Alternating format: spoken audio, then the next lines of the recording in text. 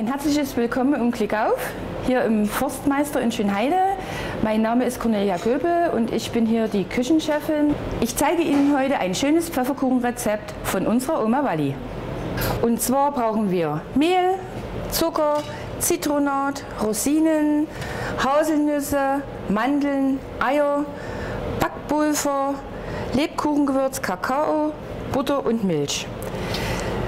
Zuerst mische ich die losen Teile zusammen, also den Kakao, das Lebkuchengewürz. Ich habe ein fertiges genommen, man kann es sich aber auch selbst zusammenstellen und das Backpulver. Die Pfefferkuchen gehen relativ leicht und schnell. Man kann sie auch schon am selben Tag noch essen, wenn man möchte. Dann tue ich den Zitronat hinein. Ich lasse alles grob, damit die Pfefferkuchen noch Biss haben. Wer es jetzt feiner möchte, kann sich das gerne zerkleinern. Oder wer keine Haselnüsse mag, kann dafür Walnüsse nehmen oder ganz weglassen.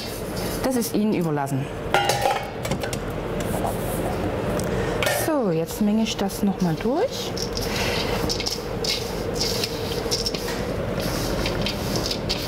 Es duftet schon richtig gut nach Weihnachten. So, dann machen wir die Milch dazu. Die Zutaten sollten alle Zimmertemperatur haben, damit sich das alles besser vermengt. Die Butter und auch wirklich Butter nehmen.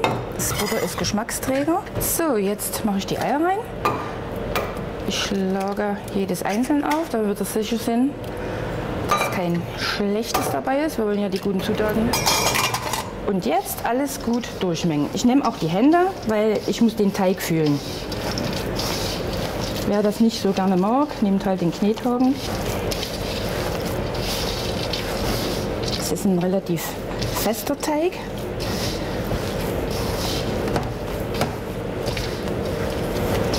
So, jetzt habe ich den Teig gut durchgeknetet, dass sich alle Zutaten gut verbinden.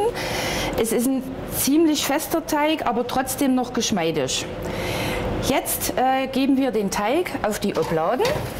Ich werde schon mal den Ofen vorheizen und zwar Umluft und 150 Grad. So, jetzt nehme ich die Obladen. Ich nehme Durchmesser 8 cm. Sie können gerne kleinere Pfefferkuchen backen, aber Sie werden merken, äh, es ist besser auf großen Obladen, weil sie wirklich lecker sind. Sie können das mit einem Löffel portionieren. Ich mache erstmal kleine Häufchen.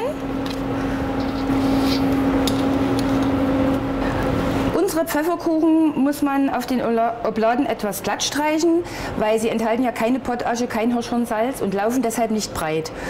Und ähm, wirklich mit, entweder Sie nehmen ein Messer oder Sie nehmen einen Teigschaber und ruhig bis, bis zum Rand.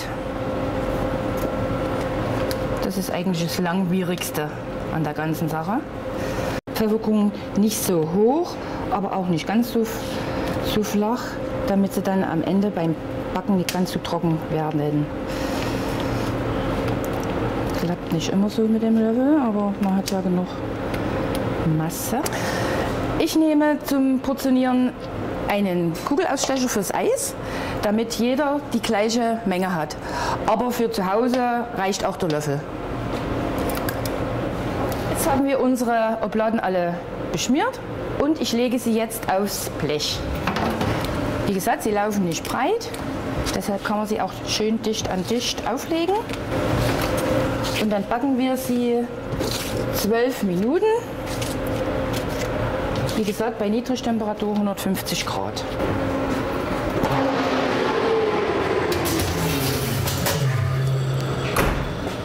Während unsere Pfefferkuchen backen, schmelze ich schon mal die Kuvertüre. Ich nehme dunkle Kuvertüre, aber äh, Sie können auch gerne Vollmilch dazu nehmen.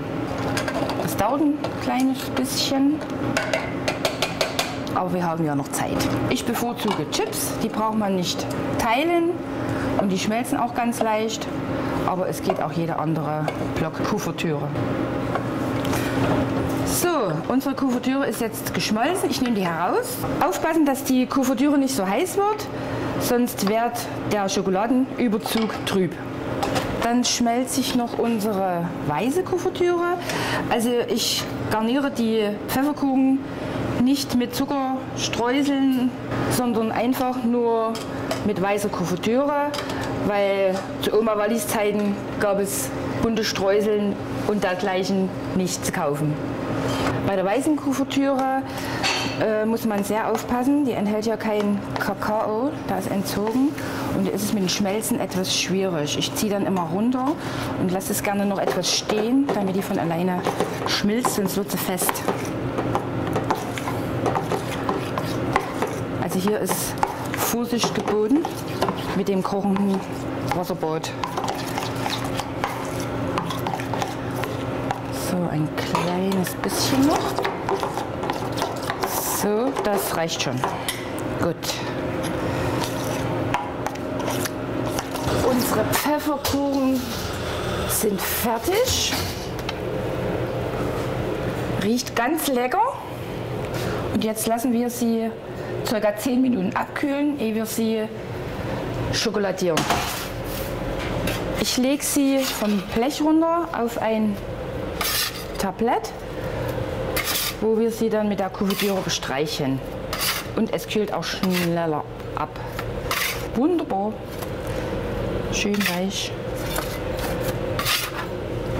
Unsere Pfefferkuchen sind jetzt abgekühlt und ich bestreiche sie mit, mit einem Pinsel schön ringsherum. Ich verziere die Lebkuchen einfach mit ein bisschen von der weißen Kuvertüre. Diese bunten Streusel äh, würden äh, den Geschmack beeinträchtigen und wir wollen ja den reinen Geschmack unserer Pfefferkuchen. Übrigens, Pfefferkuchen stammt aus dem Mittelalter, weil sämtliche orientalischen Gewürze als Pfeffer bezeichnet worden sind. So, und nun sind sie fertig. Wir lassen es noch auskühlen und dann halten sie sich in einer Blechdose, wenn sie sich halten und nicht schon vorher aufgegessen sind, auf alle Fälle bis Weihnachten. Alle Gastgeber und Rezepte unter www.topfgucker-tv.de